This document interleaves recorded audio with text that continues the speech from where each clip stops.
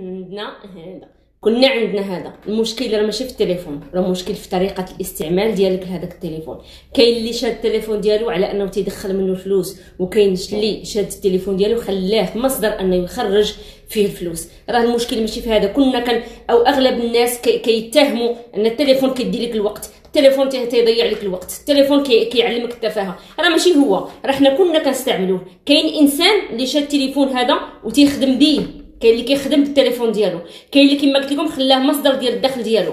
راه خصك تعرف أن أي حاجة كتستهلكها في هذا هي اللي غادي تخرجها. استهلكتي التفاهة غتخرج تفاهه استهلكتي معلومات مفيدة غادي تخرج معلومات مفيدة. ما يمكنش نهائيا أنك أنت مراقب تيك توك الإنستغرام مراقب الفيديوهات اللي ما فيهم حتى شي فائدة نهائيا. وبغيتي أنك تكون إنسان ناجح وبغيتي أنك تكون إنسان آه واصل مستويات اللي هي كبيرة ولا إنسان اللي محقق نجاح في حياتك ما يمكنش نهائيا. فحنا اللي كنتحكموا في التليفون. ماشي التليفون اللي كيتحكم فيك. راه العيب ماشي كاين في التليفون. العيب كاين فيك في طريقة استعمالك ليه في طريقة في المدة اللي كتشد فيها التليفون ديالك. هذا راه كيتخصو يكون عنده وقت مقنن وما تسناش الناس اللي غادي يقننوا لك الوقت ديالك. ما تسناش الناس يقول لك وراك ضيعتي بزاف ديال الوقت في التليفون حط التليفون. ما تسناهاش. انت اللي normalement خاصك تكون عارف راسك شحال ديال الوقت réservé بوغ لو تليفون إلا كنتي انت ما خدامش به. أما إلا كنتي خدام به فالوقت اللي درتيه فيه فأنت كتخليه مصدر دخل ليك فكما قلت لك التليفون ماشي عيب في التليفون وماشي عيب مواقع التواصل الاجتماعي وإنما العيب في طريقة استعمالك سواء المواقع التواصل الاجتماعي سواء التليفون ديالك.